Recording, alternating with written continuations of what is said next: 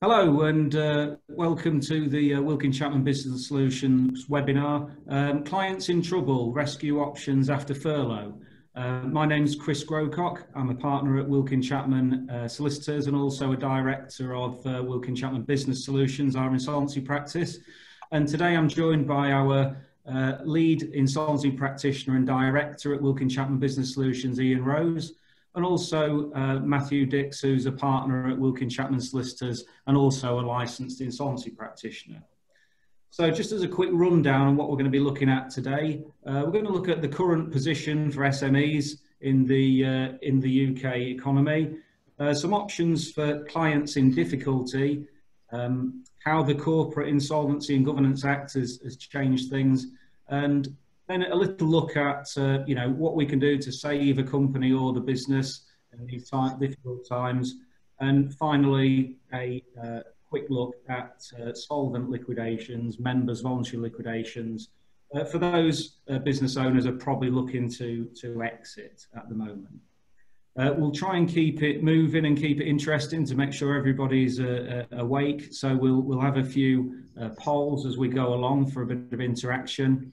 And uh, also, uh, if you've got any questions, please post them up there and we'll uh, deal with things as they go along and um, uh, questions at the end. First, uh, the current state of play. Uh, it seems to me that there's a, a myriad of challenges for UK businesses at the moment. Um, we've had businesses supported by furlough and other government intervention schemes for a long time. But uh, what do you think the current state of play is, Ian, for, uh, for UK SMEs? It's obviously very difficult and challenging times for everybody from every size of business and sole trader. I mean, basically, you've got lots and lots of support, as you mentioned, from the government, but it still comes down to the individual companies and traders to keep their supply chain working and, and keeping their creditors on board. Um, there's lots of challenges being faced by them, and it's all all new. No one could predict where we are, so it, it's it's horrible, really. So that's that's how, how we see it as a, as a, as a, as a practice, as you're aware of. What, what we're trying to do is give people advice and, and guide them in different options and, and ways forward.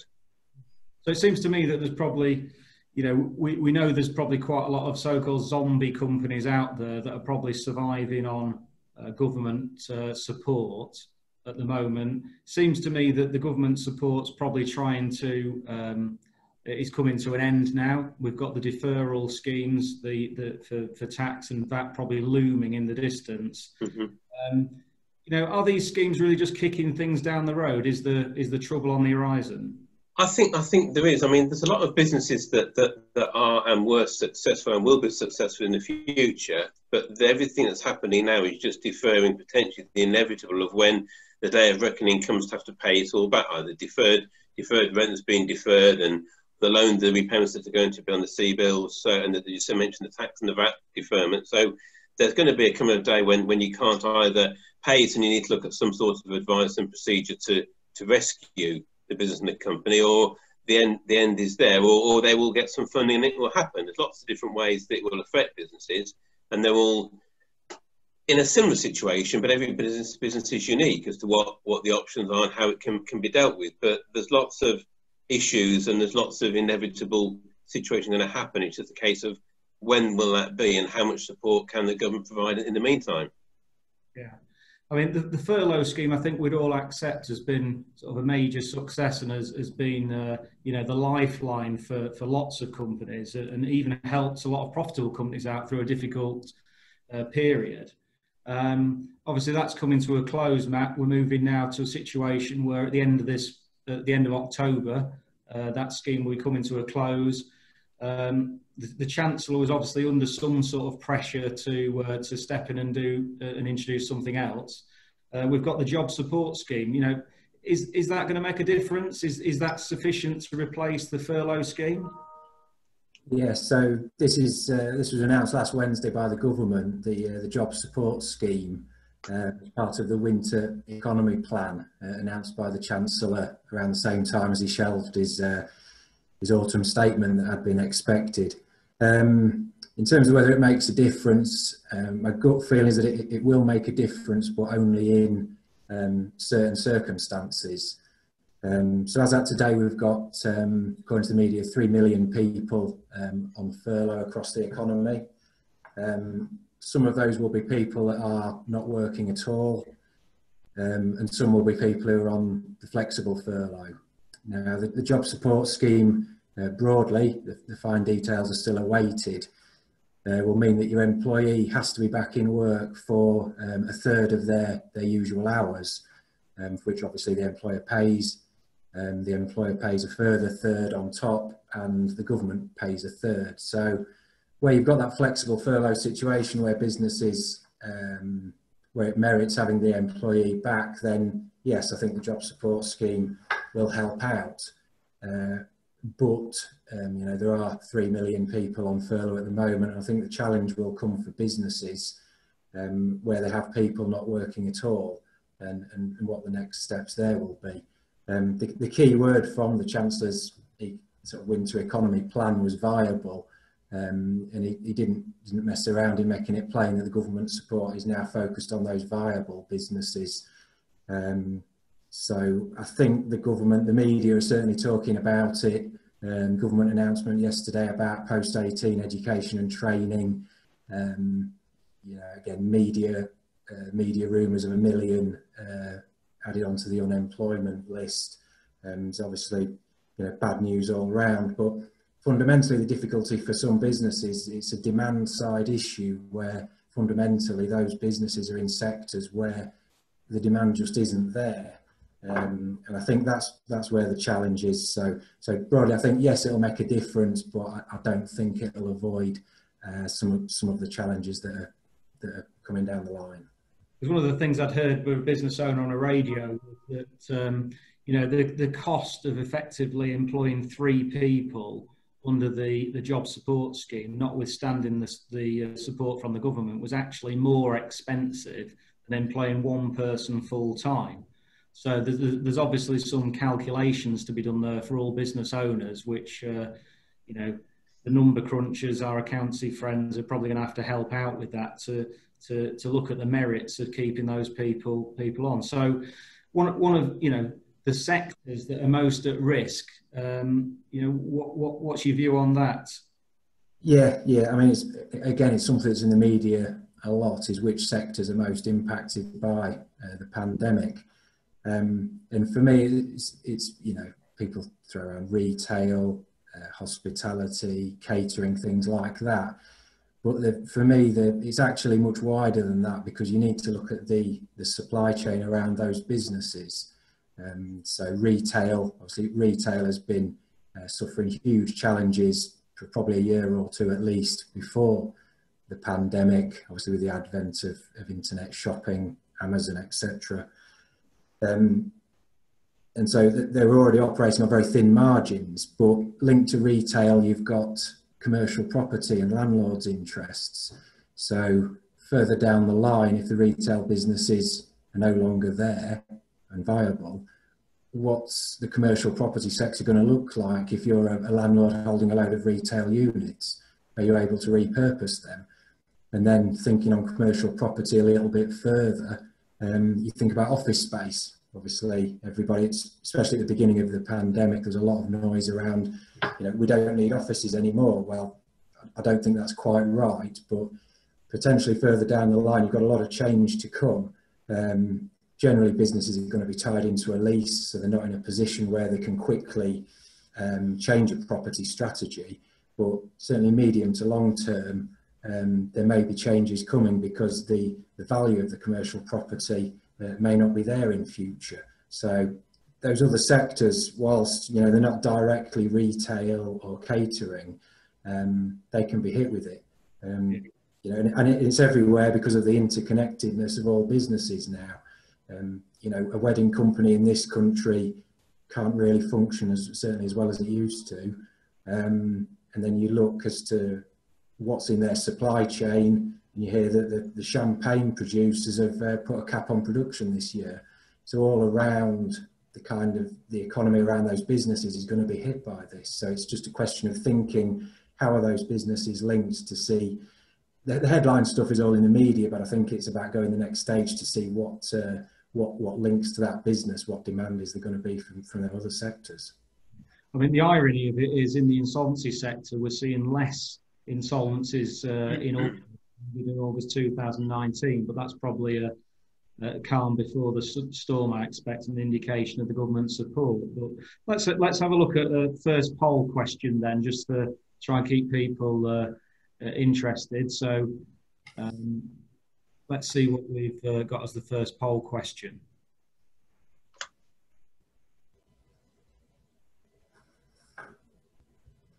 Light technical hitch there. We'll move, we'll move on for a minute. Obviously, uh, the, the, technical department aren't quite up with us on there. Well, let, us let's, let's have a look at, com at companies in difficulty. And um, yep. there, there obviously are looming storm clouds. What options are there out there for those businesses that were previously profitable and through, you know, no fault of their own due to the pandemic, they're now finding themselves uh, struggling? Well, basically, there's, there's quite a bit of, of, of, solutions and options we can look at with individual companies and, and their friendly accountants, etc., going forward. I mean, from the government's point of view, there's done a lot of support which is coming and winding down. Um, but what we need to look at is the changes to insolvency law, which will help as well.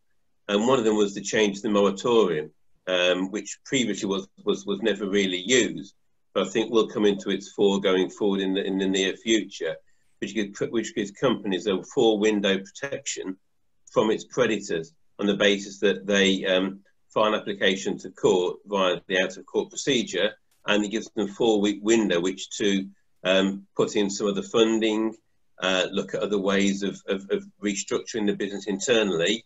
And it means that in that four week period, no one can issue a petition to wind up or they can't go down the route of um, enforcing actions, etc. It gives the company the, the chance to properly restructure by way of coming out of it with a solid business going forward with a revised business plan. That um, scheme is monitored by an insolvency practitioner for the four week period. And as long as the company does what it says it will do and doesn't incur more debt but doesn't pay off the old debt, it's, it's, it's not in breach of that moratorium. It will sit there for the four week period. It can then be extended by up to further four weeks without creditor approval, and, and beyond that, if creditors agree to the current process and how it's working and deemed to go forward. Obviously, there's a longer term um, solution needed. We can look at what's called company voluntary arrangements. That's a formal plan to restructure the old debts, tell the company's creditors what's caused the problem, how they're going to get out of it, and what creditors will get as a return. Those can last anything from a few months to up to five years, with the dividend prospect of small pennies in the pound right up to 100p in the pound it all depends on what the ability the company's got to pay into a CVA and what assets it's got uh, and what it's providing from those assets to its creditors. It's all on an individual basis. I mean, we've seen some of the big names go through a CVA, and, and they are a viable rescue for, for businesses that are struggling. But again, it's, it's one, of, one of the tools that is on practice have in their bag to, to talk to directors and their advising accountants on effect is to give them a solution and a, a way to save the, the business and for the future. That's a bit of a, a, brief insight into what we see. And obviously, then you've got the, the terminal situation where there's a, a, liquidation by way of a sale of the business assets to a third party. But that's just a, another option. So, really, you've got the moratorium and the CVA as a way to, to rescue and, and restructure in these difficult times. Yeah. So the CVA or the, the, company voluntary arrangement, obviously we hear a lot about that in the media. I think the latest uh, rumour is Pizza Hut are next. Lots of the, the major retailers and restaurant chains seem to be using this, um, you know, possibly as a way to, you know, to, to batter down landlords on, on rent. Uh, bear in mind the, the, the situation you're in. But, but, but uh, I suppose lots of our colleagues may not be familiar with CVA's uh, lower down the food chain, shall we say? So are, are, CVAs they're not just for large retailers then?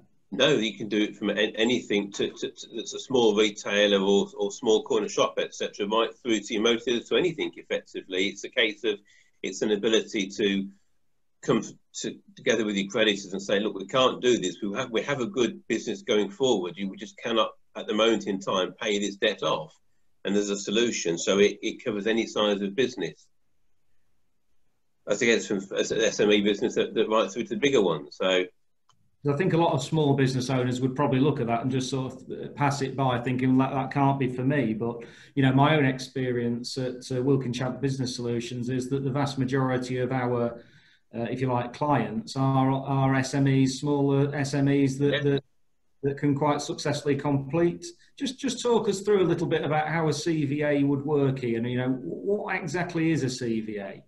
Well, a CVA is is, a, is an arrangement with but the company says to its creditors, we can't pay you in full, or we can pay you in full, whatever the case may be.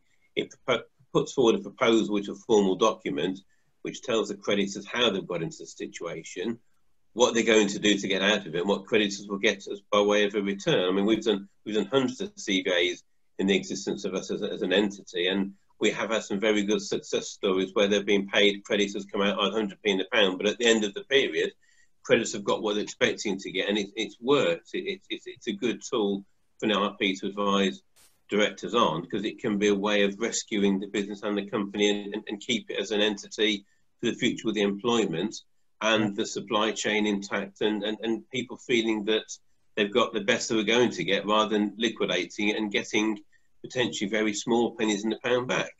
So it has a place within the, the, the toolkit of an insolvency practitioner to advise companies and directors and, and their advising accountants, etc. on. So a typical at, the, at the moment, a topical example might be, um, I don't know, um, a, a, restaurant business um, in Cleethorpes, let's say, for example, uh, they've probably struggled a bit at the start of lockdown, then had the boost with, um, you know, the Eat Out to Help Out scheme and, and now sadly are facing a long winter with shorter opening hours. Mm-hmm. Um, that business, that restaurant might be in the longer term a viable business because it's all be, always been profitable up to now. Yep. How, how would that sort of typically work for a, for a CVA? Would they be able to defer debt for a while? What, what you would do in a CVA, as long as creditors agree to it, you can do what you've put in there and, and they've voted in favour of it. So you could say, can we have a, a three or six month sort of payment break at the beginning with a view to starting them in March, the summertime of next year, with a view to hopefully things getting a lot easier. But it, it would stop anybody presenting a petition for the historic debt or, or coming after the for those historic debts. It ring fences the old debt, says we'll, we'll, we'll pay as we go forward all our liabilities as they, as they arise. Um, in the in the in the meantime, and then come say March or the summer next year when times are better, we all hope we can then start making contributions to, towards our creditors from the profits we're going to generate. As long as creditors agree to that, you can do what you want. What you can't do, you can't disenfranchise creditors and treat them all differently. You've got to treat them fairly and they've got to agree to what you're putting forward as a plan of action. Yeah. So a contract with the creditors, basically. Yeah, it is. Yeah, yeah. So who, if, if, as an insolvency practitioner, Ian, how would you go about assessing whether a, a, a proposal for a company voluntary arrangement was viable? You know, would it be worth putting forward to HMRC, for example, for consideration? How would you assess that? Well, HMRC have their own guidelines as to what they expect to, a proposal to do, etc. And some of those are that, that your returns are up to date, as in you haven't just buried head and totally done nothing. As long as you've kept the revenue up to date with regards to your submission of VAT returns and returns for corporation tax, etc. Whether they're paid or not isn't the deciding factor. It's the fact that you're compliant in regards to the legislation. So it's important to keep those returns being filed. If you can't pay, that's a different different different matter.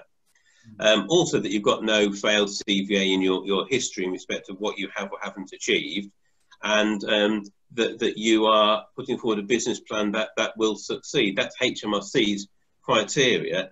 And since in most of the CVAs we put forward, they are one of the biggest creditors, you have to make sure that you tick the right box from that point of view. But also, they haven't got to be commercial, whereas your normal trade creditors would look at it more, what, what's in it for me?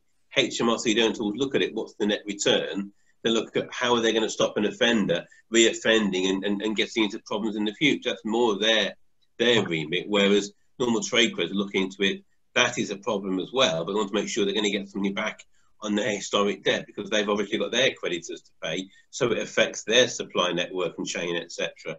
But as I said, any any CVA has got to be viable. You look at it from a, a cash flow point of view and a P&L point of view to make sure that what you're putting forward is going to A, be achievable, it gives the best return the creditors can expect, and it gives a better return they get if it all goes to liquidation. Because there's no point working your socks off for five years in a CVA if an liquidator is going to get a, a, better return within a few months or, or 18 months, two years. So it's a case of making it more attractive and the creditors understand that you're, you're working to work with them, give them a better return, and hopefully they'll see that and it's put forward with a report by an insolvency practitioner nominee to say we've looked at this and whilst we haven't done a full audit, we believe it's, it's achievable and has the best return possible for creditors.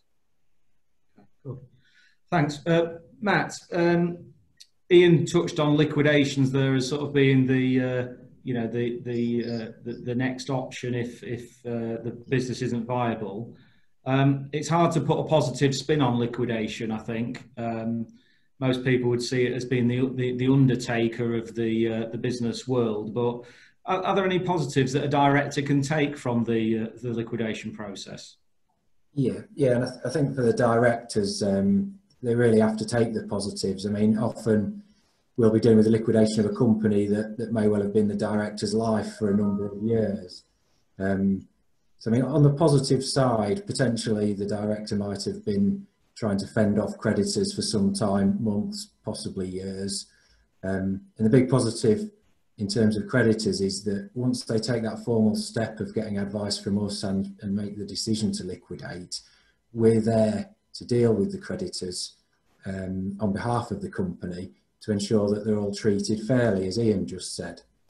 Um, it enables an organised wind down of the business. Um, yes, you know, there's no getting away from the fact that it, it ultimately ends with the dissolution of the company.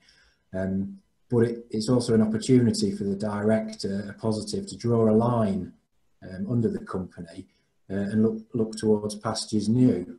Um, and I think that's where, where you need to be, um, where the director should be focusing uh, for me. Um, in terms of the director's personal position as well as positives to take from uh, early action, um, and that relates to um, potential personal liability further down the line for things like um, trading whilst insolvent uh, or misfeasance. The important thing from the director's point of view, obviously your duty to the, to the company, uh, is to act. If they get to the point where they consider we can't avoid insolvent liquidation, it's really important to get some early advice and take the necessary steps because of the potential for personal liability further down the line. Um, just on wrongful trading, we had last Thursday government announcement of the extension of various coronavirus measures linked to insolvency. Um, but one of the things that they didn't extend, interestingly, was the wrongful trading suspension. Um, up until, I believe it expires today, there was suspension of uh, wrongful trading offences. Um, they're, they're now, they are now um, a possibility for a director if he's been trading whilst insolvent. So again, you know, the director doesn't want personal liability. That's the whole point of having a limited company. Um, so, you know, take the early advice and, and, and, and, get in touch. Yeah. So the, the, the, Corporate Insolvency and Governance Act was trumpeted as, as uh, you know, been a major change to insolvency earlier this year and some of the things you've just touched on there leading on from that. So how has, how has the, uh, the Act changed things?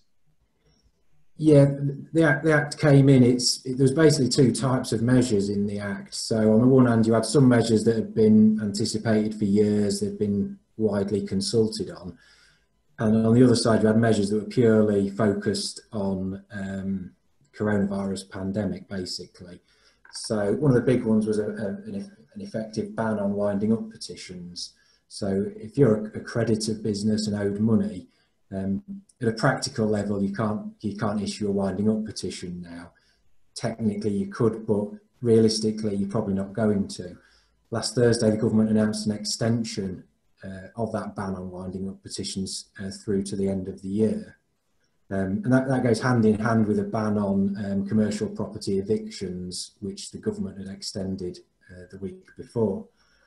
Um, on the flip side, one of the big um, effects, and you touched on it earlier, Chris, is the effect on the corporate insolvency landscape across the economy, because this year um, has seen a, a, big drop in the number of formal insolvencies um, in the year to date, because because of the ban on uh, petitions, they exert a degree of pressure on the system, which will force a business to go and take advice.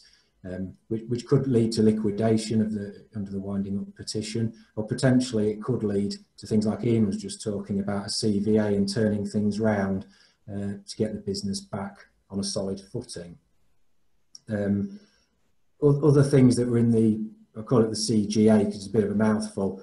Um, there's an exemption for small businesses in relation to termination clauses. So um, if a customer goes into insolvency, normally um, you're not allowed to exercise termination clauses in contracts. There's an exemption for small businesses that has been extend, extended. Um, it's now to the end of March 2021. Um, I mentioned already the wrongful trading provisions that did come in. Um, they've now been lifted. Um, and, uh, and you know, wrongful trading is, as of tomorrow, will, will be a, a potential offence as well. Um, on the non-COVID side of the provisions, you add two new um, tools basically in the insolvency practitioners toolkit that are available for companies to try and deal with the challenges they're facing. Um, so the, the, first one is a restructuring plan, um, sort of a court-based process, uh, and the other one is a, is a moratorium, uh, which is designed to allow breathing space for the company to be able to assess its options and you know decide upon a good way forward that's got a real prospect of, of successfully navigating uh, you know challenging times.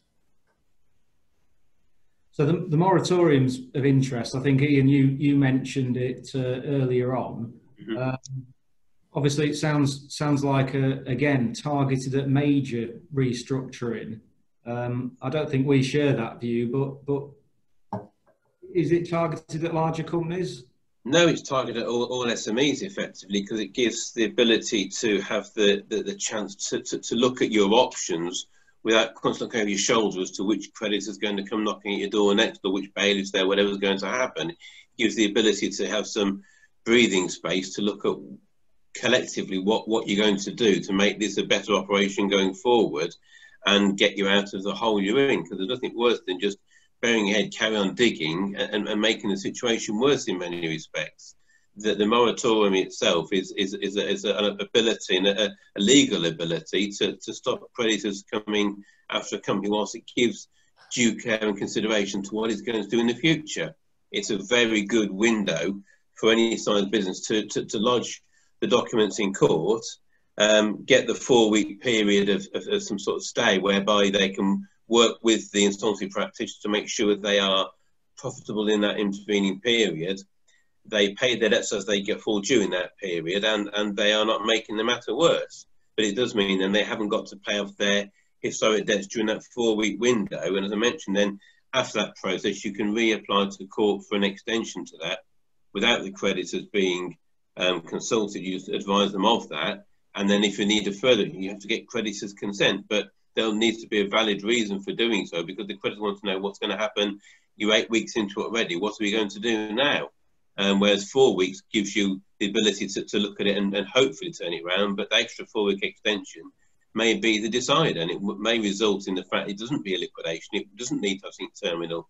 It can work with its creditors, whether by a, a restructuring plan, whether it be more investment from shareholders or stakeholders, or whether it's just the fact they go to the bank and the bank says, we, we have a further loan or defer some current loan repayment. It's, a case of what suits the business, but it gives them that chance of, of looking at it and, and saying, we're going to come out of this and our creditors will get paid as a result of it.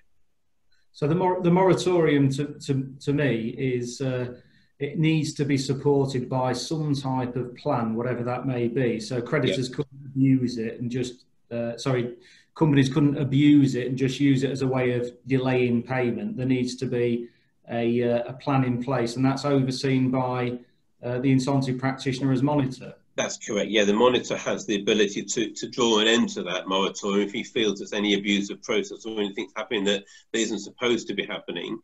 Um, he has the ability to go to, to court himself and say, I'm just declining to act and it should be rescinded. Um, and that would then draw a close to the moratorium. Um, he's whilst he's not closely involved at a director level, he's closely involved in respect to monitoring what performance was expected to happen, and therefore making sure what was expected to happen is actually happening, and the creditor would have some support. Their professional court-appointed party is looking at it from a dispassionate point of view. and it means whilst the directors are still in control, the the moratorium is being overseen by somebody who can see yes, it's it's successfully achieved what it's supposed to be done. There's a likely good outcome, but there is somebody there outside the directors and the current stakeholders looking at it and and deciding that this is fit for person was doing what it said it would do. So just returning to uh, to rescue at the moment, because uh, obviously that's going to be uppermost in most uh, companies' minds and their, their uh, accountancy advisors uh, to try and keep those businesses um, trading uh, during the COVID period. And we don't know how long that's going to be, but certainly it looks like it's going to be through this winter. one of the things I've often heard you say, Ian, is, you know, do you want to save the company or the business. What, what do you mean by that? Basically, with any with any company, there's two entities. There's the actual legal entity being the company, and the businesses behind the company. Um, a CVA and a rescue would actually save both entities. It would save the company and the business. A, liquidation can effectively save the business via some sort of buyback through the directors or a third party. So it saves the business as a core and moves it from the current company into another company by way of an acquisition, whether it be a sales invoice or a physical sale agreement, depending on the value of assets in, in, in, in question. But you save the assets by way of evaluation being done, and, and a party would pay for those assets to move them from A to B. But the perfect rescue is one by where you rescue the company and the business, but they are two within one entity. They are two separate sides to the to, to, to the entity in question. That's what I mean by my comments. and I know we, we are banging, bang, banging about it quite a lot, but that's what I'm actually meaning and referring to. Okay. Matt, um, we talked a bit about liquidations eh, from an insolvency perspective. Um, there'll be quite a few business owners who probably think, well, I've, I've, had enough, I want to exit. So, you know, a solvent liquidation, a member's uh, voluntary liquidation, how does that differ from an insolvent creditor's voluntary liquidation? Yes, you've got MVL and CVL. Um, and the key, the key to the difference that you've already mentioned, Chris, is solvency, basically. Um, and, and where that sounds out is in who, who controls the liquidation. So if, if we're doing a members uh, voluntary liquidation for the shareholders, ultimately they, they've got the financial interest. You know, the assets will be getting transferred to them, so they basically dictate uh, how the liquidation will run um, CVL, a creditor's voluntary liquidation, that's where the company is insolvent um, on either a, a, cash flow or balance sheet basis. It can't pay its debts as they fall due.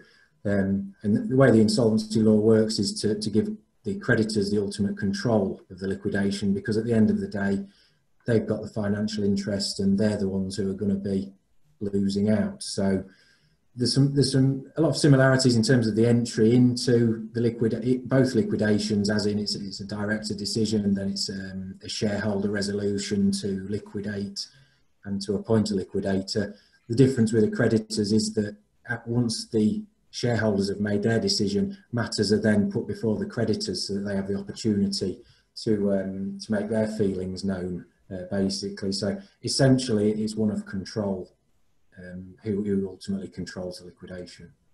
Okay. So there seems to be quite an interest in um, you know solvent liquidations at the moment. I know we've seen quite a few flowing in over the last you know couple of months. What, what's what's what's driving that? Is it business owners looking to to, to effectively get out?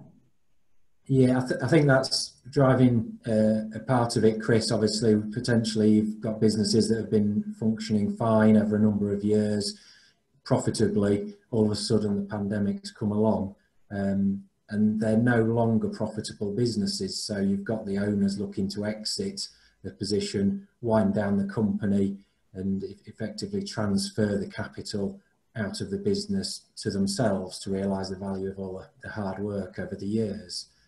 Um, another aspect that's driving current interest um, is really probably government driven.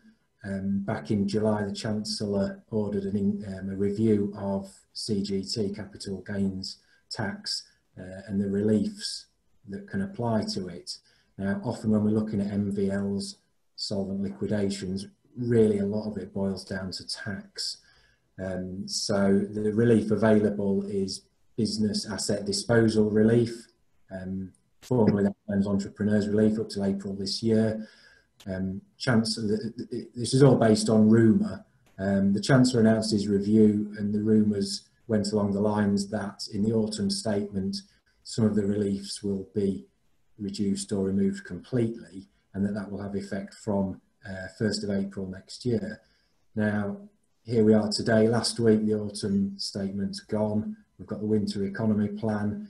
Whether these changes actually happen, we don't know. Um, but for the owners of the business, the potential to take advantage of that relief and reduce um, the tax on any gain from 20% down to 10% is obviously a huge incentive.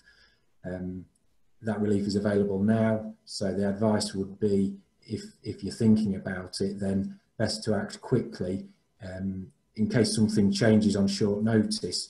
Things, I think, generally since the pandemic came along, things can change very quickly. Um, you know, a lot of stuff in the media, eventually the government's going to have to balance the books somehow and pay for um, all of the, the, the, cash that's been flowing into the system.